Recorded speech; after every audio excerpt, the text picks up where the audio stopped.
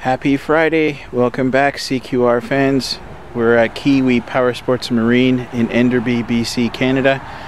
And I wanted to check out this Mirrocraft 3654 today. A nice 14 foot aluminum.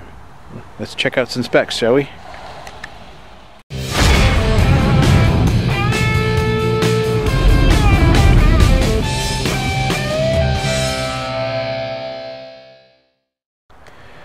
So this guy is going to be a 14 foot 2 inch. Its beam is 64 inches. The bow depth is 30 inches. The transom height is 15 or 20 inches. Maximum 25 horsepower. The BIA capacity or persons is 920 or 4 people. Approximate weight is 290. Aluminum side thickness is 0.63 and the aluminum bottom thickness is again 0.63.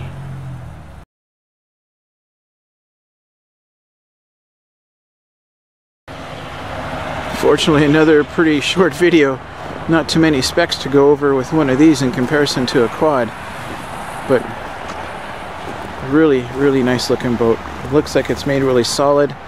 I like the individual seats back here. My old Springbok has that. I think it's really handy to have but I wish I had the extra two feet. That's a lot of room in there. It looks really cool. Wish we could see more ribbing, but you can tell there there's quite a quite a few. They're pretty close together. So that'd be cool. That'll make it fairly strong. Got a bit of a cubby hole in the front. Yeah, sweet looking boats. Obviously the wrong time of the year to be filming with all the snow on the ground. But as you guys have seen in the last year, material to film sometimes can be pretty sparse. So uh, try to do the best I can with what I can get. But definitely a really nice boat.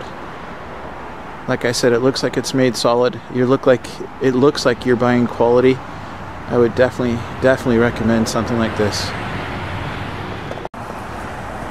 As always, your guys' support is very much appreciated here. Thank you so much for hitting that subscribe button, for checking out the video, hitting the like. It really does the channel a world of good. It shows that you're interested and it just gives me reason to continue to make these videos. It is a lot of fun. I'm glad that I can correspond with you guys and stuff. It's been a lot of fun that way.